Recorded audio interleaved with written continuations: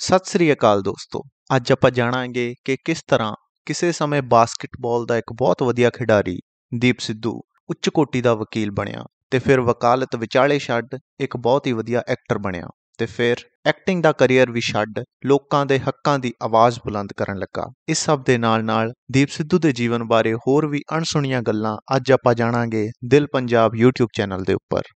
ਦੋਸਤੋ, ਦੀਪ ਸਿੱਧੂ ਦਾ ਜਨਮ 2 ਅਪ੍ਰੈਲ 1984 ਨੂੰ ਮੁਕਤਸਰ ਜ਼ਿਲ੍ਹੇ ਦੇ ਉਦੇਕਰਨ ਪਿੰਡ ਦੇ ਵਿੱਚ ਹੋਇਆ।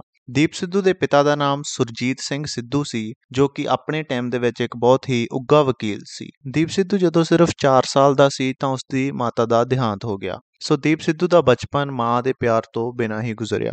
ਬਚਪਨ ਵਿੱਚ ਪੜ੍ਹਾਈ ਦੇ ਸਮੇਂ ਦੀਪ ਸਿੱਧੂ ਇੱਕ ਬਹੁਤ ਹੀ ਹੁਸ਼ਿਆਰ ਬੱਚਾ ਸੀ ਤੇ ਉਹ ਬਾਸਕਟਬਾਲ ਦਾ ਵੀ ਇੱਕ ਬਹੁਤ ਵਧੀਆ ਖਿਡਾਰੀ ਸੀ। ਦੀਪ ਸਿੱਧੂ ਨੇ ਇੰਡੀਆ ਨੂੰ ਜੂਨੀਅਰ ਲੈਵਲ ਤੇ ਪੰਜਾਬ ਨੂੰ ਨੈਸ਼ਨਲ ਲੈਵਲ ਤੇ ਵੀ ਬਾਸਕਟਬਾਲ ਦੇ ਵਿੱਚ ਰਿਪਰੈਜ਼ੈਂਟ ਕੀਤਾ ਤੇ ਉਸ ਨੇ ਨੈਸ਼ਨਲ ਲੈਵਲ ਤੇ 5 ਚੈਂਪੀਅਨਸ਼ਿਪਸ ਖੇਡੀਆਂ।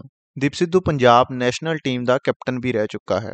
ਇਸ ਤੋਂ ਇਲਾਵਾ ਦੀਪ ਸਿੱਧੂ ਆਪਣੀ ਇੰਟਰਵਿਊ ਦੇ ਵਿੱਚ ਦੱਸਦਾ ਹੈ ਕਿ ਕਿਸੇ ਸਮੇਂ ਉਹ ਇੰਡੀਅਨ ਆਰਮੀ ਦੇ ਵਿੱਚ ਜਾਣਾ ਚਾਹੁੰਦਾ ਸੀ ਤੇ ਪੈਰਾ ਕਮਾਂਡੋ ਫੋਰਸਿਸ ਨੂੰ ਵੀ ਜੁਆਇਨ ਕਰਨਾ ਚਾਹੁੰਦਾ ਸੀ। ਸ਼ੁਰੂ ਤੋਂ ਹੀ ਉਸ ਦਾ ਮਾਡਲਿੰਗ ਅਤੇ ਐਕਟਿੰਗ ਵੱਲ ਵੀ ਧਿਆਨ ਸੀ ਤੇ ਇੱਕ ਐਕਟਰ ਬਣਨ ਦੀ ਚਿਣਗ ਵੀ ਉਸ ਦੇ ਦਿਲ ਦੇ ਵਿੱਚ ਬਚਪਨ ਤੋਂ ਹੀ ਸੀ। ਸ਼ੁਰੂਆਤੀ ਪੜ੍ਹਾਈ ਤੋਂ ਬਾਅਦ ਉਸਨੇ ਪੂਨੇ ਦੇ ਸਿੰਬਸਿਸ ਕਾਲਜ ਦੇ ਵਿੱਚ ਆਪਣੇ ਦਮ ਤੇ ਦਾਖਲਾ ਲਿਆ ਅਤੇ ਫਿਰ ਉੱਥੇ ਲਾਅ ਦੀ ਪੜ੍ਹਾਈ ਸ਼ੁਰੂ ਕੀਤੀ। ਜਦੋਂ ਪੂਨੇ ਦੇ ਵਿੱਚ ਲਾਅ ਦੀ ਪੜ੍ਹਾਈ ਕਰ ਰਿਹਾ ਸੀ ਤਾਂ ਉਸ ਸਮੇਂ ਕਿੰਗਫਿਸ਼ਰ ਟੈਲੈਂਟ ਹੰਟ ਨਾਮ ਦਾ ਇੱਕ ਕੰਪੀਟੀਸ਼ਨ ਹੋਇਆ ਤੇ ਦੀਪ ਸਿੱਧੂ ਨੇ ਇਸ ਦੇ ਵਿੱਚ ਭਾਗ ਲਿਆ ਤੇ ਦੀਪ ਸਿੱਧੂ ਨੇ ਇਸ ਨੂੰ ਜਿੱਤਿਆ ਵੀ। ਇਸ ਤੋਂ ਬਾਅਦ ਦੀਪ ਸਿੱਧੂ ਲਈ ਮਾਡਲਿੰਗ ਕੈਰੀਅਰ ਦੇ ਵਿੱਚ ਆਉਣ ਲਈ ਦਰਵਾਜ਼ੇ ਖੁੱਲ ਗਏ। ਫਿਰ 2006 ਦੇ ਵਿੱਚ ਦੀਪ ਸਿੱਧੂ ਨੇ ਗ੍ਰਾਸਿਮ ਮਿਸਟਰ ਇੰਡੀਆ ਦੇ ਵਿੱਚ ਪਾਰਟਿਸਿਪੇਟ ਕੀਤਾ ਤੇ ਗ੍ਰਾਸਿਮ ਮਿਸਟਰ ਪਰਸਨੈਲਿਟੀ ਤੇ ਗ੍ਰਾਸਿਮ ਮਿਸਟਰ ਟੈਲੈਂਟਡ ਦਾ ਖਿਤਾਬ ਵੀ ਜਿੱਤਿਆ। ਇਸ ਤੋਂ ਬਾਅਦ ਦੀਪ ਸਿੱਧੂ ਮਾਡਲਿੰਗ ਦੇ ਖੇਤਰ ਦੇ ਵਿੱਚ ਹੋਰ ਅੱਗੇ ਵਧਣ ਲੱਗਾ। ਉਸਨੇ ਬੰਬੇ ਦੇ ਵਿੱਚ ਹੇਮੰਤ ਤ੍ਰਿਵੇਦੀ, ਰੋਹਿਤ ਗਾਂਧੀ ਵਰਗੇ ਕਈ ਫੇਮਸ ਡਿਜ਼ਾਈਨਰਸ ਦੇ ਨਾਲ ਕੰਮ ਕਰਨਾ ਸ਼ੁਰੂ ਕਰ ਦਿੱਤਾ। ਪਰ ਮਾਡਲਿੰਗ ਦੀ ਦੁਨੀਆ ਉਸ ਨੂੰ ਇੰਨੀ ਰਾਸ ਨਾ ਆਈ। ਫਿਰ ਦੀਪ ਸਿੱਧੂ ਨੇ ਦੁਬਾਰਾ ਆਪਣੀ ਵਕਾਲਤ ਜਾਰੀ ਰੱਖਣ ਦਾ ਫੈਸਲਾ ਕੀਤਾ। ਫਿਰ ਮਾਡਲਿੰਗ ਦਾ ਕੈਰੀਅਰ ਛੱਡ ਕੇ ਦੀਪ ਸਿੱਧੂ ਵਕਾਲਤ ਪ੍ਰੈਕਟਿਸ ਕਰਨ ਲੱਗ ਪਿਆ। ਉਸਨੇ ਸਭ ਤੋਂ ਪਹਿਲਾਂ ਸਹਾਰਾ ਇੰਡੀਆ ਪਰਿਵਾਰ ਦੇ ਨਾਲ ਇੱਕ ਲੀਗਲ ਐਡਵਾਈਜ਼ਰ ਦੇ ਤੌਰ ਤੇ ਕੰਮ ਸ਼ੁਰੂ ਕੀਤਾ। ਕੁਝ ਦੇਰ ਇੰਡੀਆ ਦੇ ਵਿੱਚ ਵਕਾਲਤ ਪ੍ਰੈਕਟਿਸ ਕਰਨ ਤੋਂ ਬਾਅਦ ਉਹ ਇੰਗਲੈਂਡ, ਲੰਡਨ ਦੇ ਵਿੱਚ ਆਪਣੀ ਲਾਅ ਦੀ ਅਗਲੀ ਪੜ੍ਹਾਈ ਕਰਨ ਦੇ ਲਈ ਚਲਾ ਗਿਆ। ਉੱਥੇ ਲੰਡਨ ਦੇ ਵਿੱਚ ਰਹਿੰਦਿਆਂ ਹੀ ਦੀਪ ਸਿੱਧੂ ਨੇ ਉੱਥੋਂ ਦੀ ਇੱਕ ਮਸ਼ਹੂਰ ਲਾਅ ਫਰਮ ਹੈਮੰਡਸ ਦੇ ਨਾਲ ਕੰਮ ਕਰਨਾ ਸ਼ੁਰੂ ਕਰ ਦਿੱਤਾ। ਜਿਸ ਦੇ ਵਿੱਚ ਕੰਮ ਕਰਦਿਆਂ ਉਸਨੇ ਡਿਜ਼ਨੀ ਅਤੇ ਸੋਨੀ ਪਿਕਚਰਸ ਵਰਗੇ ਕਈ ਵੱਡੇ ਵੱਡੇ ਹਾਲੀਵੁੱਡ ਸਟੂਡੀਓਜ਼ ਦੇ ਨਾਲ ਕੰਮ ਕੀਤਾ। ਫਿਰ ਦੀਪ ਸਿੱਧੂ ਵਾਪਸ ਇੰਡੀਆ ਆ ਗਿਆ ਤੇ ਉਸਨੇ ਇੱਥੇ ਆ ਕੇ ਲੈਕਸ ਲੀਗਲ ਨਾਮ ਦੀ ਆਪਣੀ ਇੱਕ ਲਾਅ ਫਰਮ ਬਣਾਈ ਅਤੇ ਵਕਾਲਤ ਪ੍ਰੈਕਟਿਸ ਕਰਨੀ ਸ਼ੁਰੂ ਕਰ ਦਿੱਤੀ। ਫਿਰ Deep Sidhu Bollywood production company Balaji telefilms ਦਾ ਲੀਗਲ ਹੈੱਡ ਬਣ ਗਿਆ ਅਤੇ 3.5 ਸਾਲ ਤੱਕ ਉਸਨੇ ਲੀਗਲ ਹੈੱਡ ਦੇ ਤੌਰ ਤੇ ਕੰਮ ਕੀਤਾ। ਇਸ ਤੋਂ ਬਾਅਦ ਉਸਨੇ ਮਸ਼ਹੂਰ ਡਾਇਰੈਕਟਰ ਸੰਜੇ ਲੀਲਾ ਬੰਸਾਲੀ ਦੇ ਨਾਲ ਵੀ ਕੰਮ ਕੀਤਾ ਅਤੇ ਧਰਮਿੰਦਰ ਦੀ production company Vijayta production house ਦੇ ਨਾਲ ਵੀ ਕੰਮ ਕੀਤਾ। ਇਸ ਤੋਂ ਇਲਾਵਾ ਵੀ ਦੀਪ ਸਿੱਧੂ ਨੇ ਕਈ ਉੱਗੇ ਬਾਲੀਵੁੱਡ ਪ੍ਰੋਡਕਸ਼ਨ ਹਾਊਸਿਸ ਦੇ ਨਾਲ ਲੀਗਲ ਹੈੱਡ ਦੇ ਤੌਰ ਤੇ ਕੰਮ ਕੀਤਾ। ਦੱਸ ਦਈਏ ਕਿ ਜਦੋਂ ਦੀਪ ਸਿੱਧੂ ਬਾਲਾਜੀ ਟੈਲੀਫਿਲਮਸ ਵੱਲੋਂ ਲੀਗਲ ਹੈੱਡ ਦੇ ਤੌਰ ਤੇ ਕੰਮ ਕਰ ਰਿਹਾ ਸੀ, ਤਾਂ ਇਸ ਕੰਪਨੀ ਦੀ ਕ੍ਰੀਏਟਿਵ ਮੈਨੇਜਰ ਅਤੇ ਡਾਇਰੈਕਟਰ ਏਕਤਾ ਕਪੂਰ ਨੇ ਦੀਪ ਸਿੱਧੂ ਨੂੰ ਕਿਹਾ ਕਿ ਉਸ ਨੂੰ ਐਕਟਿੰਗ ਦੇ ਵਿੱਚ ਟਰਾਈ ਕਰਨਾ ਚਾਹੀਦਾ ਹੈ। ਪਰ ਉਸ ਸਮੇਂ ਦੀਪ ਸਿੱਧੂ ਨੇ ਉਸ ਦੀ ਗੱਲ ਵੱਲ ਕੁਝ ਜ਼ਿਆਦਾ ਧਿਆਨ ਨਾ ਦਿੱਤਾ। ਫਿਰ ਦੀਪ ਸਿੱਧੂ ਨੇ ਧਰਮਿੰਦਰ ਦੀ ਕੰਪਨੀ ਵਿਜਿਆਤਾ ਪ੍ਰੋਡਕਸ਼ਨ ਹਾਊਸ ਦੇ ਨਾਲ ਕੰਮ ਕਰਨਾ ਸ਼ੁਰੂ ਕਰ ਦਿੱਤਾ। ਦਰਅਸਲ ਦੀਪ ਸਿੱਧੂ ਦੇ ਸਨੀ ਦਿਓਲ ਅਤੇ ਬਾਕੀ ਦਿਓਲ ਫੈਮਿਲੀ ਦੇ ਨਾਲ ਪਹਿਲਾਂ ਤੋਂ ਹੀ ਸੰਬੰਧ ਬਹੁਤ ਗੂੜੇ ਸਨ। ਜਦੋਂ ਦੀਪ ਸਿੱਧੂ ਕਾਲਜ ਦੇ ਵਿੱਚ ਸੀ ਤਾਂ ਇੱਕ ਐਡ ਦੀ ਸ਼ੂਟਿੰਗ ਦੇ ਲਈ ਦੀਪ ਸਿੱਧੂ ਨੂੰ ਬੁਲਾਇਆ ਗਿਆ ਸੀ, ਜਿਸ ਦੇ ਵਿੱਚ ਉਸਨੇ ਸਨੀ ਦਿਓਲ ਦੇ ਛੋਟੇ ਭਰਾ ਦਾ ਰੋਲ ਕਰਨਾ ਸੀ। ਇਹ ਇੱਕ ਫਾਰਮ ਟਰੈਕ ਟਰੈਕਟਰ ਦੀ ਐਡ ਸੀ, ਤਾਂ ਇਸ ਦੇ ਵਿੱਚ ਦੀਪ ਸਿੱਧੂ ਨੂੰ ਸਿਲੈਕਟ ਕੀਤਾ ਗਿਆ ਸੀ। ਉਦੋਂ ਤੋਂ ਹੀ ਦੀਪ ਸਿੱਧੂ ਸਨੀ ਦਿਓਲ ਨੂੰ ਚੰਗੀ ਤਰੀਕੇ ਦੇ ਨਾਲ ਜਾਣਦਾ ਸੀ ਅਤੇ ਇਹਨਾਂ ਦੇ ਆਪਸੀ ਪਰਿਵਾਰਕ ਰਿਸ਼ਤਿਆਂ ਦੇ ਵਾਂਗ ਗੂੜੇ ਸੰਬੰਧ ਬਣ ਚੁੱਕੇ ਸਨ। ਫਿਰ ਜਦੋਂ ਦੀਪ ਸਿੱਧੂ ਦਿਓਲ ਫੈਮਿਲੀ ਦੇ ਲਈ ਲੀਗਲ ਹੈੱਡ ਦੇ ਤੌਰ ਤੇ ਕੰਮ ਕਰ ਰਿਹਾ ਸੀ, ਤਾਂ ਇੱਕ ਦਿਨ ਫਿਲਮ ਡਾਇਰੈਕਟਰ ਗੁੱਡੂ ਧਨੋਆ, ਸਨੀ ਦਿਓਲ ਨੂੰ ਮਿਲਣ ਉਸ ਦੇ ਦਫ਼ਤਰ ਪੁੱਜਾ। ਉੱਥੇ ਹੀ ਦੀਪ ਸਿੱਧੂ ਵੀ ਮੌਜੂਦ ਸੀ। ਜਦੋਂ ਗੁੱਡੂ ਧਨੋਆ ਨੇ ਦੱਸਿਆ ਕਿ ਉਹ ਆਪਣੀ ਅਗਲੀ ਫਿਲਮ ਰਮਤਾ ਜੋਗੀ ਲਈ ਲੀਡ ਐਕਟਰ ਦੀ ਭਾਲ ਕਰ ਰਿਹਾ ਹੈ, ਤਾਂ ਧਰਮਿੰਦਰ ਨੇ ਦੀਪ ਸਿੱਧੂ ਨੂੰ ਕਿਹਾ ਕਿ ਉਸ ਨੂੰ ਐਕਟਿੰਗ ਦੇ ਵਿੱਚ ਟਰਾਈ ਕਰਨਾ ਚਾਹੀਦਾ ਹੈ, ਤਾਂ ਇਸ ਤੇ ਦੀਪ ਸਿੱਧੂ ਨੇ ਹਾਂ ਕਰ ਦਿੱਤੀ। ਇਸ ਤਰ੍ਹਾਂ ਦੀਪ ਸਿੱਧੂ ਨੂੰ ਆਪਣੀ ਪਹਿਲੀ ਫਿਲਮ ਰਮਤਾ ਜੋਗੀ ਮਿਲੀ। ਇਸ ਲਈ ਉਸਨੇ ਨੈਸ਼ਨਲ ਫਿਲਮ ਇੰਸਟੀਚਿਊਟ ਪੂਨੇ ਦੇ ਟੀਚਰਾਂ ਦੇ ਕੋਲੋਂ ਐਕਟਿੰਗ ਦੀ ਟ੍ਰੇਨਿੰਗ ਵੀ ਲਈ। ਇਹ ਫਿਲਮ 2015 ਦੇ ਵਿੱਚ ਧਰਮਿੰਦਰ ਦੀ ਪ੍ਰੋਡਕਸ਼ਨ ਵਿਜੇਤਾ ਫਿਲਮਸ ਦੇ ਅੰਡਰ ਰਿਲੀਜ਼ ਹੋਈ ਅਤੇ ਇਸ ਦੇ ਨਾਲ ਹੀ ਦੀਪ ਸਿੱਧੂ ਲਈ ਐਕਟਿੰਗ ਦੀ ਦੁਨੀਆ ਦੇ ਦਰਵਾਜ਼ੇ ਖੁੱਲ ਗਏ। ਇਸ ਤੋਂ ਬਾਅਦ ਦੀਪ ਸਿੱਧੂ ਦੀ 2017 ਦੇ ਵਿੱਚ ਫਿਲਮ ਆਈ ਜੋਰਾ 10 ਨੰਬਰੀਆ, ਜੋ ਕਿ ਇੱਕ ਬਹੁਤ ਵੱਡੀ ਹਿੱਟ ਹੋਈ ਅਤੇ ਇਸ ਨੇ ਦੀਪ ਸਿੱਧੂ ਨੂੰ ਬਹੁਤ ਹੀ ਮਸ਼ਹੂਰ ਕਰੈਕਟਰ ਬਣਾ ਦਿੱਤਾ। ਇਸ ਦੇ ਨਾਲ ਲੋਕ ਦੀਪ ਸਿੱਧੂ ਨੂੰ ਜੋਰੇ ਦੇ ਨਾਮ ਨਾਲ ਜਾਣਨ ਲੱਗ ਪਏ। ਇਸ ਤੋਂ ਬਾਅਦ ਦੀਪ ਸਿੱਧੂ ਦੀ 2018 ਦੇ ਵਿੱਚ ਰੰਗ ਪੰਜਾਬ ਫਿਲਮ ਅਤੇ ਫਿਰ 2018 ਦੇ ਵਿੱਚ ਹੀ ਸਾਡੇ ਵਾਲੀ ਫਿਲਮ ਆਈ, ਜੋ ਕਿ ਕੈਨਸ ਫਿਲਮ ਫੈਸਟੀਵਲ ਤੇ ਰਿਲੀਜ਼ ਹੋਈ ਅਤੇ ਉਹ ਕੈਨਸ ਫਿਲਮ ਫੈਸਟੀਵਲ ਤੇ ਰਿਲੀਜ਼ ਹੋਣ ਵਾਲੀ ਪਹਿਲੀ ਪੰਜਾਬੀ ਫਿਲਮ ਵੀ ਬਣੀ। ਇਸ ਤੋਂ ਬਾਅਦ 2020 ਦੇ ਵਿੱਚ ਜੋਰਾ ਦਾ ਸੈਕੰਡ ਚੈਪਟਰ ਫਿਲਮ ਆਈ। ਇਸ ਸਮੇਂ ਤੱਕ ਦੀਪ ਸਿੱਧੂ ਪੰਜਾਬੀ ਇੰਡਸਟਰੀ ਦੇ ਵਿੱਚ ਇੱਕ ਬਹੁਤ ਹੀ ਫੇਮਸ ਐਕਸ਼ਨ ਹੀਰੋ ਬਣ ਚੁੱਕਾ ਸੀ। ਉਸਨੇ ਰਵਾਇਤੀ ਪੰਜਾਬੀ ਕਲਾਕਾਰਾਂ ਤੋਂ ਉਲਟ ਆਪਣੇ ਆਪ ਨੂੰ ਇੱਕ ਐਕਸ਼ਨ ਹੀਰੋ ਦੇ ਤੌਰ ਤੇ ਸਥਾਪਿਤ ਕੀਤਾ। ਇੱਥੇ ਦੱਸ ਦਈਏ ਕਿ ਜਦੋਂ 2019 ਦੇ ਵਿੱਚ ਭਾਰਤ ਦੇ ਵਿੱਚ ਲੋਕ ਸਭਾ ਦੀਆਂ ਚੋਣਾਂ ਹੋਈਆਂ, ਤਾਂ ਗੁਰਦਾਸਪੁਰ ਦੀ ਸੀਟ ਤੋਂ ਭਾਜਪਾ ਨੇ ਸਨੀ ਦਿਓਲ ਨੂੰ ਐਮਪੀ ਦੇ ਕੈਂਡੀਡੇਟ ਵਜੋਂ ਖੜਾ ਕੀਤਾ। ਕਿਉਂਕਿ ਦੀਪ ਸਿੱਧੂ ਦੇ ਦਿਓਲ ਫੈਮਿਲੀ ਦੇ ਨਾਲ ਸੰਬੰਧ ਬਹੁਤ ਹੀ ਗੂੜੇ ਸਨ, ਇਸ ਕਰਕੇ ਦੀਪ ਸਿੱਧੂ ਨੇ ਸਨੀ ਦਿਓਲ ਦੀ ਸਪੋਰਟ ਲਈ ਕਈ ਮੀਟਿੰਗ ਦੇ ਵਿੱਚ ਸ਼ਿਰਕਤ ਵੀ ਕੀਤੀ ਅਤੇ ਸਨੀ ਦਿਓਲ ਦੇ ਲਈ ਪ੍ਰਚਾਰ ਵੀ ਕੀਤਾ। ਇਸ ਦੀਆਂ ਇਹ ਤਸਵੀਰਾਂ ਤੁਸੀਂ ਸੋਸ਼ਲ ਮੀਡੀਆ ਤੇ ਵੀ ਬਹੁਤ ਦੇਖੀਆਂ ਹੋਣਗੀਆਂ, ਜੋ ਕਿ ਕਿਸਾਨ ਅੰਦੋਲਨ ਦੌਰਾਨ ਵਿਰੋਧੀਆਂ ਵੱਲੋਂ ਬਹੁਤ ਵਾਇਰਲ ਕੀਤੀਆਂ ਗਈਆਂ ਸਨ ਅਤੇ ਅੰਦੋਲਨ ਨੂੰ ਕਮਜ਼ੋਰ ਕਰਨ ਦੇ ਲਈ ਦੀਪ ਸਿੱਧੂ ਨੂੰ ਆਰਐਸਐਸ ਦਾ ਬੰਦਾ ਵੀ ਕਿਹਾ ਗਿਆ ਸੀ।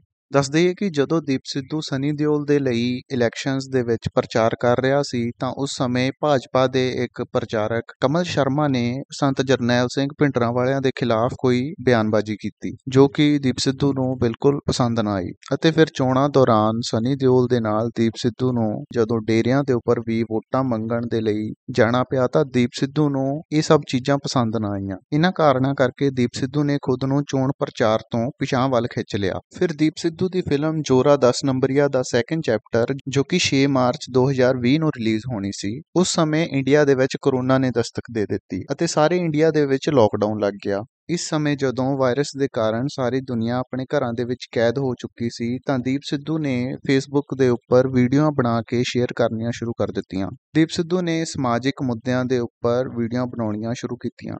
ਇਸੇ ਦੌਰਾਨ ਉਸ ਦੇ ਨਾਲ ਬਹੁਤ ਨੌਜਵਾਨ ਜੁੜਨੇ ਸ਼ੁਰੂ ਹੋਏ। ਇੱਕ ਐਕਸ਼ਨ ਹੀਰੋ ਦੇ ਤੌਰ ਤੇ ਉਹ ਨੌਜਵਾਨਾਂ ਦੇ ਅੰਦਰ ਪਹਿਲਾਂ ਹੀ ਆਪਣਾ ਇੱਕ ਵੱਡਾ ਨਾਮ ਬਣਾ ਚੁੱਕਾ ਸੀ। ਸੋਸ਼ਲ ਮੀਡੀਆ ਦੇ ਉੱਪਰ ਦੀਪ ਸਿੱਧੂ ਨੇ ਪੰਜਾਬ ਦੇ ਮੁੱਦਿਆਂ ਤੇ ਆਧਾਰਿਤ ਵੀਡੀਓ ਬਣਾ ਕੇ ਪਾਉਣੀਆਂ ਸ਼ੁਰੂ ਕਰ ਦਿੱਤੀਆਂ। ਕਿਸਾਨ ਅੰਦੋਲਨ ਦੌਰਾਨ ਦੀਪ ਸਿੱਧੂ ਨੂੰ ਬਦਨਾਮ ਕਰਨ ਲਈ ਕਈ ਲੋਕ ਇਹ ਆਰੋਪ ਲਗਾਉਂਦੇ ਰਹੇ ਕਿ ਦੀਪ ਸਿੱਧੂ ਇੱਕਦਮ ਜੋ ਪੰਜਾਬ ਦੀ ਖੁਦਮੁਖਤਿਆਰੀ ਦੀਆਂ ਗੱਲਾਂ ਕਰਦਾ ਹੈ, ਸਿੱਖ ਕੌਮ ਦੀਆਂ ਗੱਲਾਂ ਕਰਦਾ ਹੈ, ਪੰਥ ਦੀਆਂ ਗੱਲਾਂ ਕਰਦਾ ਹੈ, ਤਾਂ ਇਹ ਇੱਕ ਬੀਜੇਪੀ ਜਾਂ ਆਰਐਸਐਸ ਵੱਲੋਂ ਫਿੱਟ ਕੀਤਾ ਹੋਇਆ ਬੰਦਾ ਹੈ।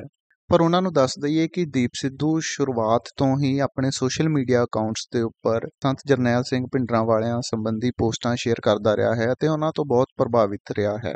ਇਸ ਤੋਂ ਇਲਾਵਾ ਦੀਪ ਸਿੱਧੂ, ਗੁਰਜੰਟ ਸਿੰਘ, ਬੁੱਧ ਸਿੰਘ ਵਾਲਾ ਨੂੰ ਆਪਣਾ ਲੀਡਰ ਮੰਨਦਾ ਰਿਹਾ ਹੈ ਅਤੇ ਸ਼ੁਰੂਆਤ ਤੋਂ ਹੀ ਦੀਪ ਸਿੱਧੂ ਦੇ ਗੁਰਜੰਟ ਸਿੰਘ, ਬੁੱਧ ਸਿੰਘ ਵਾਲਾ ਦੀ ਫੈਮਿਲੀ ਦੇ ਨਾਲ ਬਹੁਤ ਚੰਗੇ ਸੰਬੰਧ ਰਹੇ ਹਨ। ਇੱਥੇ ਇੱਕ ਗੱਲ ਇਹ ਵੀ ਦੱਸਣੀ ਬਣਦੀ ਹੈ ਕਿ ਜਦੋਂ ਦੀਪ ਸਿੱਧੂ ਬਾਰੇ ਉਸਦੇ ਪਿੰਡ ਦੇ ਲੋਕਾਂ ਕੋਲੋਂ ਰਾਏ ਲਈ ਗਈ ਤਾਂ ਉਸਦੇ ਪਿੰਡ ਦੇ ਲੋਕ ਦੱਸਦੇ ਹਨ ਕਿ ਦੀਪ ਸਿੱਧੂ ਦਾ ਪੜਦਾਦਾ ਨਿਹਾਲ ਸਿੰਘ ਸਿੱਧੂ ਸੀ। ਜੋ ਕਿ ਲਾਹੌਰ ਵਿੱਚ ਪੜ੍ਹਦਾ ਸੀ ਅਤੇ ਉਸ ਸਮੇਂ ਲਾਹੌਰ ਦੇ ਵਿੱਚ ਦੀਪ ਸਿੱਧੂ ਦੇ ਪੜਦਾਦੇ ਦੇ ਨਾਲ ਭਗਤ ਸਿੰਘ ਦਾ ਚਾਚਾ ਅਜੀਤ ਸਿੰਘ ਵੀ ਪੜ੍ਹਦਾ ਸੀ, ਜੋ ਕਿ 1907 ਦੀ ਪਗੜੀ ਸੰਭਾਲ ਜੱਟਾ ਲਹਿਰ ਦਾ ਮੋਢੀ ਸੀ। ਨਿਹਾਲ ਸਿੰਘ ਸਿੱਧੂ ਦੇ ਚਾਚਾ ਜੀਤ ਸਿੰਘ ਦੇ ਨਾਲ ਬਹੁਤ ਗੂੜੇ ਸੰਬੰਧ ਸਨ ਅਤੇ ਉਹ ਇੱਕੋ ਕਮਰੇ ਦੇ ਵਿੱਚ ਰਹਿੰਦੇ ਸਨ ਅਤੇ ਉਸ ਸਮੇਂ ਉੱਥੇ ਭਗਤ ਸਿੰਘ ਵੀ ਆਉਂਦਾ ਹੁੰਦਾ ਸੀ। ਉਸ ਸਮੇਂ ਉੱਥੇ ਖਾਲਸਾ ਟਾਈਮਜ਼ ਨਾਂ ਦਾ ਅਖਬਾਰ ਚੱਲਦਾ ਸੀ ਜੋ ਕਿ ਭਗਤ ਸਿੰਘ ਦਾ ਚਾਚਾ ਦੇਸ਼ ਪ੍ਰੇਮ ਬਾਰੇ ਪੜ੍ਹਦਾ ਸੀ ਅਤੇ ਉਹ ਅਖਬਾਰ ਦੀਪ ਸਿੱਧੂ ਹੋਰਾਂ ਦੇ ਪਰਿਵਾਰ ਦੇ ਕੋਲ ਅੱਜ ਵੀ ਸਾਂਭਿਆ ਹੋਇਆ ਹੈ ਜੋ ਕਿ ਇਸ ਦੀ ਪੜਦਾਦੀ ਉੱਥੋਂ ਚੁੱਕ ਕੇ ਇੱਧਰ ਲੈ ਆਈ ਸੀ। ਸੋ ਦੀਪ ਸਿੱਧੂ ਨੂੰ ਆਜ਼ਾਦ ਸੋਚ ਅਤੇ ਬਾਗੀਪੁਣਾ ਆਪਣੇ ਪਰਿਵਾਰ ਦੇ ਵਿੱਚੋਂ ਹੀ ਮਿਲਿਆ ਸੀ।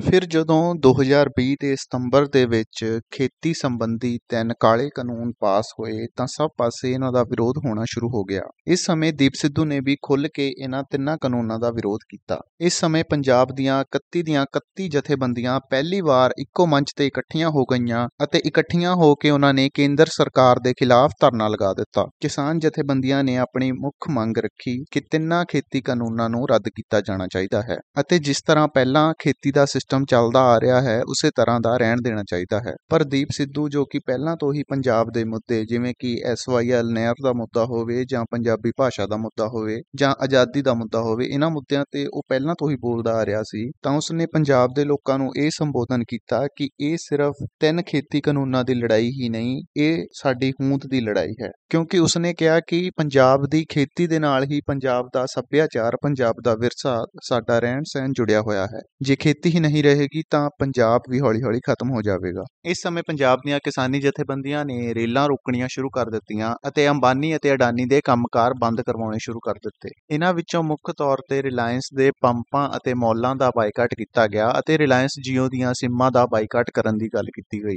ਜਿੱਥੇ ਪੰਜਾਬ ਦੀਆਂ ਕਿਸਾਨੀ ਜਥੇਬੰਦੀਆਂ ਪੰਜਾਬ ਦੇ ਵਿੱਚ ਹੀ ਪੰਪਾਂ, ਮੌਲਾਂ ਅਤੇ ਰੇਲਵੇ ਟਰੈਕਾਂ ਦੇ ਉੱਪਰ ਧਰਨਾ ਲਗਾ ਕੇ ਬੈਠੀਆਂ ਸਨ। ਉੱਥੇ ਦੀਪ ਸਿੱਧੂ ਨੇ ਪੰਜਾਬ ਅਤੇ ਹਰਿਆਣਾ ਦੇ ਸ਼ੰਭੂ ਬਾਰਡਰ ਦੇ ਉੱਪਰ ਮੋਰਚਾ ਲਗਾਉਣ ਦਾ ਫੈਸਲਾ ਕੀਤਾ। ਉਸਨੇ ਕਿਹਾ ਕਿ ਪੰਜਾਬ ਦੇ ਵਿੱਚ ਹੀ ਧਰਨਾ ਲਗਾਉਣ ਦੇ ਨਾਲ ਕੇਂਦਰ ਦੇ ਕੰਨ ਤੇ ਜੂ ਨਹੀਂ ਸਰਕੇਗੀ। ਇਸ ਲਈ ਮੋਦੀ ਸਰਕਾਰ ਦੀਆਂ ਅੱਖਾਂ ਖੋਲਣ ਲਈ ਸ਼ੰਭੂ ਬਾਰਡਰ ਨੂੰ ਬੰਦ ਕਰਨਾ ਇੱਕ ਵਧੀਆ ਤਰੀਕਾ ਹੋਵੇਗਾ। ਇਸ ਤਰ੍ਹਾਂ ਦੀਪ ਸਿੱਧੂ ਤੇ ਕੁਝ ਹੋਰ ਆਗੂਆਂ ਨੇ ਮਿਲ ਕੇ 25 ਸਤੰਬਰ 2020 ਨੂੰ ਸ਼ੰਭੂ ਬਾਰਡਰ ਤੇ ਧਰਨਾ ਲਾ ਕੇ ਬੰਦ ਰੱਖਣ ਦੀ ਕਾਲ ਦਿੱਤੀ। ਇਸ ਤਰੀਕ ਨੂੰ ਸ਼ੰਭੂ ਬਾਰਡਰ ਦੇ ਉੱਪਰ ਨੌਜਵਾਨਾਂ, ਬਜ਼ੁਰਗਾਂ, ਬੱਚਿਆਂ ਅਤੇ ਔਰਤਾਂ ਦਾ ਇੱਕ ਵੱਡਾ ਇਕੱਠ ਦੇਖਣ ਨੂੰ ਮਿਲਿਆ। ਫਿਰ 4 ਨਵੰਬਰ 2020 ਤੋਂ ਦੀਪ ਸਿੱਧੂ ਨੇ ਸ਼ੰਭੂ ਮੋਰਚੇ ਦੇ ਉੱਪਰ ਪੱਕਾ ਧਰਨਾ ਲਗਾਉਣ ਦੀ ਗੱਲ ਕੀਤੀ ਅਤੇ ਸ਼ੰਭੂ ਬਾਰਡਰ ਦੇ ਉੱਪਰ ਖੇਤੀ ਕਾਨੂੰਨਾਂ ਦੇ ਵਿਰੋਧ ਦੇ ਵਿੱਚ ਪੱਕਾ ਧਰਨਾ ਲਗਾ ਦਿੱਤਾ। ਜਦੋਂ 31 ਕਿਸਾਨ ਜਥੇਬੰਦੀਆਂ ਪੰਜਾਬ ਦੇ ਵਿੱਚ ਖੇਤੀ ਕਾਨੂੰਨਾਂ ਦੇ ਖਿਲਾਫ ਧਰਨੇ ਲਗਾ ਰਹੀਆਂ ਸਨ ਅਤੇ ਉਹਨਾਂ ਦੀ ਮੰਗ ਇਹ ਸੀ ਕਿ ਤਿੰਨ ਖੇਤੀ ਕਾਨੂੰਨ ਰੱਦ ਹੋਣੇ ਚਾਹੀਦੇ ਹਨ, ਤਾਂ ਉਸ ਸਮੇਂ ਦੀਪ ਸਿੱਧੂ ਨੇ ਇਹ ਗੱਲ ਕੀਤੀ ਕਿ ਪੰਜਾਬ ਦੇ ਲਈ ਕੇਵਲ ਤਿੰਨ ਖੇਤੀ ਕਾਨੂੰਨ ਰੱਦ ਕਰਵਾ ਕੇ ਹੀ ਮਸਲਾ ਹੱਲ ਨਹੀਂ ਹੋਵੇਗਾ, ਕਿਉਂਕਿ ਪੰਜਾਬ ਦੇ ਵਿੱਚ ਤਾਂ ਪਹਿਲਾਂ ਹੀ ਬਹੁਤ ਕਿਸਾਨ ਖੁਦਕੁਸ਼ੀਆਂ ਕਰ ਰਹੇ ਸਨ। ਇਸ ਲਈ ਉਸਨੇ ਪੰਜਾਬ ਦੇ ਲਈ ਇੱਕ ਖੁਦਮੁਖਤਿਆਰ ਢਾਂਚੇ ਦੀ ਗੱਲ ਕੀਤੀ। ਤਾਂ ਕਿ ਪੰਜਾਬ ਆਪਣੇ ਫੈਸਲੇ ਆਪ ਲੈ ਸਕੇ। ਇਸ ਤਰ੍ਹਾਂ ਸ਼ੰਭੂ ਮੋਰਚੇ ਦੇ ਉੱਪਰ ਪੰਜਾਬ ਕੇਂਦਰਿਤ ਖੇਤੀ ਮਾਡਲ ਬਣਾਉਣ ਲਈ ਦੀਪ ਸਿੱਧੂ ਨੇ ਵੱਖ-ਵੱਖ ਖੇਤੀਬਾੜੀ ਮਾਹਿਰਾਂ, ਬੁੱਧੀਜੀਵੀਆਂ ਦੇ ਨਾਲ ਵਿਚਾਰ ਚਰਚਾਵਾਂ ਵੀ ਕੀਤੀਆਂ। ਇਸ ਲਈ ਉਸਨੇ ਵਾਰਿਸ ਪੰਜਾਬ ਦੇ ਮੁਹਿੰਮ ਚਲਾਈ ਅਤੇ ਲੋਕਾਂ ਨੂੰ ਆਨਲਾਈਨ ਇਸ ਨਾਲ ਜੁੜਨ ਲਈ ਸੱਦਾ ਦਿੱਤਾ। ਸ਼ੰਭੂ ਮੋਰਚੇ ਦੇ ਉੱਪਰ ਇਹ ਕਿਹਾ ਗਿਆ ਕਿ ਇਹ ਸਿਰਫ ਐਮਐਸਪੀ ਜਾਂ ਕੁਝ ਖੇਤੀ ਕਾਨੂੰਨਾਂ ਦਾ ਮਸਲਾ ਨਹੀਂ ਹੈ। ਇਹ ਪੰਜਾਬ ਦੀ ਹੋਣ ਦਾ ਮਸਲਾ ਹੈ, ਕਿਉਂਕਿ ਪੰਜਾਬ ਦਾ ਸੱਭਿਆਚਾਰ, ਪੰਜਾਬ ਦੀ ਆਰਥਿਕਤਾ, ਇੱਥੋਂ ਦੀ ਜਾਣ ਪਛਾਣ, ਸਿਆਸਤ ਭਾਵ ਪੂਰੀ ਤਰਜੇ ਜ਼ਿੰਦਗੀ ਖੇਤੀ ਦਿਵਾਲੇ ਘੁੰਮਦੀ ਹੈ। ਇੱਥੋਂ ਇਹ ਕਿਹਾ ਗਿਆ ਕਿ ਪੰਜਾਬ ਦੀਆਂ ਰਵਾਇਤੀ ਪਾਰਟੀਆਂ ਜਾਂ ਤਾਂ ਦਿੱਲੀ ਦੇ ਇਸ਼ਾਰਿਆਂ ਤੇ ਚੱਲਦੀਆਂ ਹਨ ਜਾਂ ਪੰਜਾਬ ਵਿਰੋਧੀ ਸ਼ਕਤੀਆਂ ਦੀਆਂ ਕਠਪੁਤਲੀਆਂ ਹਨ। ਇਸ ਲਈ ਪੰਜਾਬ ਨੂੰ ਇੱਕ ਪੰਜਾਬ ਕੇਂਦਰਿਤ ਸਿਆਸੀ ਜਥੇਬੰਦੀ ਦੀ ਲੋੜ ਹੈ। ਇਸ ਤਰ੍ਹਾਂ ਪੰਜਾਬ ਦੀ ਬਿਹਤਰੀ ਲਈ ਬੁੱਧੀਜੀਵੀਆਂ ਅਤੇ ਆਗੂਆਂ ਨੂੰ ਇੱਕ ਮੰਚ ਤੇ ਇਕੱਠੇ ਹੋਣ ਲਈ ਕਿਹਾ ਗਿਆ। ਉਧਰ ਪੰਜਾਬ ਦੇ ਅੰਦਰ ਕਿਸਾਨ ਜਥੇਬੰਦੀਆਂ ਵੱਲੋਂ 3-4 ਮਹੀਨੇ ਰੇਲਵੇ ਪਟਰੀਆਂ ਦੇ ਉੱਪਰ ਧਰਨੇ ਦੇਣ ਤੋਂ ਬਾਅਦ ਵੀ ਜਦੋਂ ਕੇਂਦਰ ਸਰਕਾਰ ਦੇ ਕੰਨ ਤੇ ਜੂੰ ਨਾ ਸਰਕੀ ਤਾਂ ਉਹਨਾਂ ਨੇ 26 ਨਵੰਬਰ ਨੂੰ ਦਿੱਲੀ ਕੂਚ ਕਰਨ ਦਾ ਐਲਾਨ ਕੀਤਾ। ਇਸ ਸਮੇਂ ਦੀਪ ਸਿੱਧੂ ਨੇ ਵੀ ਕਿਸਾਨੀ ਜਥੇਬੰਦੀਆਂ ਨੂੰ ਪੂਰੀ ਸਪੋਰਟ ਕੀਤੀ ਅਤੇ ਉਹ ਵੀ ਆਪਣੇ ਸਾਥੀਆਂ ਸਮੇਤ ਦਿੱਲੀ ਵੱਲ ਨੂੰ ਚਲਾ ਗਿਆ। ਪੰਜਾਬ ਦੇ ਨਾਲ-ਨਾਲ ਹਰਿਆਣਾ, ਰਾਜਸਥਾਨ, ਉੱਤਰਾਖੰਡ, ਹੋਰ ਲਾਗਲੇ ਰਾਜ ਅਤੇ ਭਾਰਤ ਦੇ ਵੱਖ-ਵੱਖ ਭਾਗਾਂ ਤੋਂ ਪਹੁੰਚੇ ਕਿਸਾਨਾਂ ਨੇ ਦਿੱਲੀ ਦੇ ਚਾਰੇ ਪਾਸੇ ਬਾਰਡਰਾਂ ਦੇ ਉੱਪਰ ਧਰਨੇ ਲਗਾ ਲਏ। ਇੱਥੇ ਹੀ ਦੀਪ ਸਿੱਧੂ ਵੀ ਕਿਸਾਨ ਜਥੇਬੰਦੀਆਂ ਦੇ ਨਾਲ ਮਿਲ ਕੇ ਸਿੰਘੂ ਬਾਰਡਰ ਦੇ ਉੱਪਰ ਖੇਤੀ ਕਾਨੂੰਨਾਂ ਦੇ ਵਿਰੋਧ ਦੇ ਵਿੱਚ 2 ਮਹੀਨੇ ਡਟਿਆ ਰਿਹਾ। ਇੱਥੇ ਰਹਿੰਦਿਆਂ ਉਸਨੇ ਵਾਰ-ਵਾਰ ਆਪਣੇ ਸੋਸ਼ਲ ਮੀਡੀਆ ਰਾਹੀਂ ਏਕਤਾ ਬਣਾ ਕੇ ਰੱਖਣ ਦੀ ਗੱਲ ਕੀਤੀ ਅਤੇ ਇਹ ਕਿਹਾ ਕਿ ਇਹ ਜੰਗ ਪੰਜਾਬੀਆਂ ਦੁਆਰਾ ਇਕੱਠੇ ਹੋ ਕੇ ਹੀ ਜਿੱਤ ਹੋਵੇਗੀ। ਫਿਰ ਜਦੋਂ ਕਿਸਾਨ ਜਥੇਬੰਦੀਆਂ ਅਤੇ ਸਰਕਾਰ ਦੇ ਵਿੱਚ ਹੁੰਦੀਆਂ ਆਪਸੀ ਮੀਟਿੰਗਾਂ ਦਾ ਕੋਈ ਹੱਲ ਨਹੀਂ ਸੀ ਨਿਕਲ ਰਿਹਾ ਅਤੇ ਸਰਕਾਰ ਖੇਤੀ ਕਾਨੂੰਨ ਵਾਪਸ ਲੈਣ ਲਈ ਤਿਆਰ ਨਹੀਂ ਸੀ, ਤਾਂ ਕਿਸਾਨ ਜਥੇਬੰਦੀਆਂ ਨੇ ਇੱਕ ਵੱਡਾ ਐਕਸ਼ਨ ਪਲਾਨ ਕਰਨ ਦੀ ਗੱਲ ਕਹੀ। ਉਹਨਾਂ ਨੇ ਆਪਣੀ ਗੱਲ ਅੰਤਰਰਾਸ਼ਟਰੀ ਪੱਧਰ ਤੱਕ ਪਹੁੰਚਾਉਣ ਦੇ ਲਈ ਭਾਰਤ ਦੇ ਗਣਤੰਤਰ ਦਿਵਸ ਯਾਨੀ ਕਿ 26 ਜਨਵਰੀ 2021 ਨੂੰ ਦਿੱਲੀ ਦੇ ਅੰਦਰ ਟਰੈਕਟਰ ਪਰੇਡ ਕਰਨ ਦੀ ਗੱਲ ਕੀਤੀ। 26 ਜਨਵਰੀ ਆਉਣ ਤੱਕ ਲੱਖਾਂ ਦੀ ਤਾਦਾਦ ਦੇ ਵਿੱਚ ਪੰਜਾਬ, ਹਰਿਆਣਾ, ਰਾਜਸਥਾਨ ਅਤੇ ਭਾਰਤ ਦੇ ਵੱਖ-ਵੱਖ ਰਾਜ ਰਾਜਾਂ ਤੋਂ ਲੋਕ ਆਪੋ ਆਪਣੇ ਟਰੈਕਟਰ ਲੈ ਕੇ ਦਿੱਲੀ ਦੀਆਂ ਸਰਹੱਦਾਂ ਉੱਤੇ ਪਹੁੰਚ ਗਏ। ਪਰ ਦਿੱਲੀ ਪੁਲਿਸ ਦੇ ਨਾਲ ਮੀਟਿੰਗ ਕਰਨ ਤੋਂ ਬਾਅਦ ਕਿਸਾਨ ਜਥੇਬੰਦੀਆਂ ਨੂੰ ਜਦੋਂ ਦਿੱਲੀ ਪੁਲਿਸ ਵੱਲੋਂ ਦਿੱਲੀ ਦੇ ਅੰਦਰ ਟਰੈਕਟਰ ਪਰੇਡ ਕਰਨ ਦੀ ਪਰਮਿਸ਼ਨ ਨਾ ਦਿੱਤੀ ਗਈ, ਤਾਂ ਕਿਸਾਨ ਜਥੇਬੰਦੀਆਂ ਨੇ ਦਿੱਲੀ ਦੇ ਬਾਹਰ-ਬਾਹਰ ਟਰੈਕਟਰ ਮਾਰਚ ਕਰਨ ਦੀ ਗੱਲ ਕੀਤੀ ਅਤੇ ਉਸ ਦਾ ਰੋਡ ਮੈਪ ਜਾਰੀ ਕਰ ਦਿੱਤਾ। ਪਰ 26 ਜਨਵਰੀ ਵਾਲੇ ਦਿਨ ਕੁਝ ਲੋਕ, ਜੋ ਕਿ ਕਿਸਾਨ ਜਥੇਬੰਦੀਆਂ ਦੁਆਰਾ ਦਿੱਤੇ ਗਏ ਰੋਡ ਮੈਪ ਤੋਂ ਹਟ ਕੇ ਦਿੱਲੀ ਦੇ ਅੰਦਰ ਜਾ ਕੇ ਟਰੈਕਟਰ ਮਾਰਚ ਕਰਨਾ ਚਾਹੁੰਦੇ ਸਨ, ਤਾਂ ਕਿ ਸਰਕਾਰ ਦੇ ਉੱਪਰ ਵੱਧ ਅਸਰ ਹੋ ਸਕੇ। ਇਸ ਤਰ੍ਹਾਂ 26 ਜਨਵਰੀ ਵਾਲੇ ਦਿਨ ਜਿੱਥੇ ਕਿਸਾਨ ਜਥੇਬੰਦੀਆਂ ਦਿੱਲੀ ਦੇ ਬਾਹਰ ਟਰੈਕਟਰ ਪਰੇਡ ਕਰ ਰਹੀਆਂ ਸਨ। ਉੱਥੇ ਹੀ ਲੱਖਾਂ ਲੋਕ ਆਪਣੇ ਟਰੈਕਟਰਾਂ ਦੇ ਸਮੇਤ ਦਿੱਲੀ ਦੇ ਅੰਦਰ ਰਿੰਗ ਰੋਡ ਅਤੇ ਲਾਲ ਕਿਲੇ ਦੇ ਉੱਪਰ ਪਰੇਡ ਕਰਨ ਲਈ ਪਹੁੰਚ ਗਏ। ਇੱਥੇ ਹੀ ਕੁਝ ਲੋਕਾਂ ਨੇ ਆਪਣਾ ਵਿਰੋਧ ਜ਼ਾਹਿਰ ਕਰਦਿਆਂ ਲਾਲ ਕਿਲੇ ਦੇ ਉੱਪਰ ਤਿਰੰਗੇ ਝੰਡੇ, ਖਾਲਸਾਈ ਨਿਸ਼ਾਨ ਸਾਹਿਬ, ਕਿਸਾਨ ਯੂਨੀਅਨ ਦੇ ਝੰਡੇ ਅਤੇ ਆਪਣੀਆਂ ਵੱਖ-ਵੱਖ ਜਥੇਬੰਦੀਆਂ ਦੇ ਝੰਡੇ ਝੁਲਾ ਦਿੱਤੇ। ਇੱਥੇ ਹੀ ਲੱਖਾਂ ਲੋਕਾਂ ਸਮੇਤ ਦੀਪ ਸਿੱਧੂ ਨੇ ਵੀ ਲਾਲ ਕਿਲੇ ਦੇ ਉੱਪਰ ਜਾ ਕੇ ਆਪਣਾ ਰੋਸ ਜ਼ਾਹਿਰ ਕੀਤਾ ਅਤੇ ਫਿਰ ਉੱਥੇ ਕਿਸੇ ਕਿਸਾਨ ਆਗੂ ਦੇ ਨਾ ਹੋਣ ਕਾਰਨ ਭੀੜ ਨੂੰ ਸ਼ਾਂਤ ਕਰਨ ਅਤੇ ਲਾਲ ਕਿਲੇ ਤੋਂ ਬਾਹਰ ਲੈ ਕੇ ਆਉਣ ਦਾ ਵੀ ਕੰਮ ਕੀਤਾ। ਪਰ ਇਸ ਤੋਂ ਬਾਅਦ ਬੀਜੇਪੀ ਦੇ ਆਈਟੀ ਸੈੱਲ ਅਤੇ ਗੋਦੀ ਮੀਡੀਆ ਨੇ ਕਿਸਾਨ ਅੰਦੋਲਨ ਨੂੰ ਫੇਲ ਕਰਨ ਅਤੇ ਕਿਸਾਨਾਂ ਦੀ ਏਕਤਾ ਦੇ ਵਿੱਚ ਪਾੜ ਪਾਉਣ ਦੇ ਲਈ 26 ਜਨਵਰੀ ਦੀ ਇਸ ਘਟਨਾ ਨੂੰ ਦੇਸ਼ ਦੇ ਖਿਲਾਫ ਪ੍ਰਚਾਰਨਾ ਸ਼ੁਰੂ ਕਰ ਦਿੱਤਾ ਅਤੇ ਦਿੱਲੀ ਦੇ ਅੰਦਰ ਜਾ ਕੇ ਪਰੇਡ ਕਰਨ ਵਾਲਿਆਂ ਦੇ ਉੱਪਰ ਖਾਲਿਸਤਾਨੀਆਂ ਦੇ ਠੱਪੇ ਲਾਉਣੇ ਸ਼ੁਰੂ ਕਰ ਦਿੱਤੇ। ਇਸ ਤੇ ਗੋਦੀ ਮੀਡੀਆ ਅਤੇ ਬੀਜੇਪੀ ਦੇ ਆਈਟੀ ਸੈੱਲ ਵੱਲੋਂ ਦੀਪ ਸਿੱਧੂ, ਜੋ ਕਿ ਇੱਕ ਮਸ਼ਹੂਰ ਚਿਹਰਾ ਸੀ ਉਸ ਨੂੰ ਇਸ ਸਾਰੀ ਘਟਨਾ ਦਾ ਜ਼ਿੰਮੇਵਾਰ ਦੱਸਿਆ ਗਿਆ ਅਤੇ ਨਿਸ਼ਾਨਾ ਬਣਾ ਕੇ ਬਦਨਾਮ ਕੀਤਾ ਗਿਆ। ਇਸ ਤੋਂ ਬਾਅਦ ਦੀਪ ਸਿੱਧੂ ਦੇ ਉੱਪਰ ਹੋਰ ਕਈਆਂ ਸਮੇਤ ਲਾਲ ਕਿਲੇ ਦੇ ਉੱਪਰ ਧਾਰਮਿਕ ਝੰਡਾ ਲਹਿਰਾਉਣ ਦੇ ਲਈ ਐਫ ਆਈ ਆਰ ਦਰਜ ਕੀਤੀ ਗਈ। ਇਸ ਤੋਂ ਬਾਅਦ ਕੁਝ ਸਮੇਂ ਲਈ ਦੀਪ ਸਿੱਧੂ ਸੁਰਖੀਆਂ ਦੇ ਵਿੱਚ ਨਾ ਦਿਸਿਆ, ਪਰ ਉਹ ਆਪਣੇ ਸੋਸ਼ਲ ਮੀਡੀਆ ਅਕਾਊਂਟ ਦੇ ਉੱਪਰ ਵੀਡੀਓਜ਼ ਬਣਾ ਕੇ ਪਾਉਂਦਾ ਰਿਹਾ। ਇਸ ਸਮੇਂ ਦਿੱਲੀ ਪੁਲਿਸ ਨੇ ਦੀਪ ਸਿੱਧੂ ਦਾ ਪਤਾ ਦੱਸਣ ਵਾਲੇ ਨੂੰ 1 ਲੱਖ ਦਾ ਇਨਾਮ ਦੇਣ ਦੀ ਘੋਸ਼ਣਾ ਕਰ ਦਿੱਤੀ। ਉਸ ਤੋਂ ਬਾਅਦ 9 ਫਰਵਰੀ 2021 ਨੂੰ ਦਿੱਲੀ ਪੁਲਿਸ ਨੇ ਦੀਪ ਸਿੱਧੂ ਨੂੰ ਗ੍ਰਿਫਤਾਰ ਕਰ ਲਿਆ ਅਤੇ ਸੱਤ ਦਿਨਾਂ ਦੇ ਪੁਲਿਸ ਰਿਮਾਂਡ ਦੇ ਉੱਪਰ ਭੇਜ ਦਿੱਤਾ। ਹੁਣ ਅੱਜ ਦੇ ਸਮੇਂ ਯਾਨੀ ਕਿ ਮਾਰਚ 2021 ਦੇ ਵਿੱਚ ਦੀਪ ਸਿੱਧੂ ਹਾਲੇ ਵੀ ਪੁਲਿਸ ਹਿਰਾਸਤ ਦੇ ਵਿੱਚ ਹੈ ਅਤੇ ਕਈ ਜਥੇਬੰਦੀਆਂ ਅਤੇ ਸੰਸਥਾਵਾਂ ਵੱਲੋਂ ਦੀਪ ਸਿੱਧੂ ਨੂੰ ਜ਼ਮਾਨਤ ਦਿਵਾਉਣ ਦੀਆਂ ਕੋਸ਼ਿਸ਼ਾਂ ਲਗਾਤਾਰ ਜਾਰੀ ਹਨ। ਦੋਸਤੋ, ਇਹ ਸੀ ਦੀਪ ਸਿੱਧੂ ਦਾ ਸ਼ੁਰੂਆਤ ਤੋਂ ਲੈ ਕੇ ਅੱਜ ਤੱਕ ਦਾ ਸਫ਼ਰ। ਤੁਹਾਡੇ ਦੀਪ ਸਿੱਧੂ ਬਾਰੇ ਕੀ ਵਿਚਾਰ ਹਨ? ਸਾਨੂੰ ਕਮੈਂਟਾਂ ਵਿੱਚ ਜ਼ਰੂਰ ਦੱਸੋ। ਦੋਸਤੋ, ਅਗਲੀ ਵੀਡੀਓ ਸਾਨੂੰ ਕਿਸ ਵਿਸ਼ੇ ਤੇ ਬਣਾਉਣੀ ਚਾਹੀਦੀ ਹੈ, ਇਸ ਸੰਬੰਧੀ ਤੁਸੀਂ ਕਮੈਂਟਾਂ ਦੇ ਵਿੱਚ ਆਪਣੇ ਸੁਝਾਅ ਦੇ ਸਕਦੇ ਹੋ। ਅਤੇ ਇਸ ਤਰ੍ਹਾਂ ਦੀਆਂ ਬਾਇਓਗ੍ਰਾਫੀਜ਼ ਮੋਟੀਵੇਸ਼ਨਲ ਵੀਡੀਓਜ਼ ਅਤੇ ਹੋਰ ਰੌਚਕ ਵੀਡੀਓਜ਼ ਦੇਖਣ ਦੇ ਲਈ ਤੁਸੀਂ ਦਿਲ ਪੰਜਾਬ YouTube ਚੈਨਲ ਨੂੰ ਸਬਸਕ੍ਰਾਈਬ ਕਰ ਸਕਦੇ ਹੋ। ਧੰਨਵਾਦ।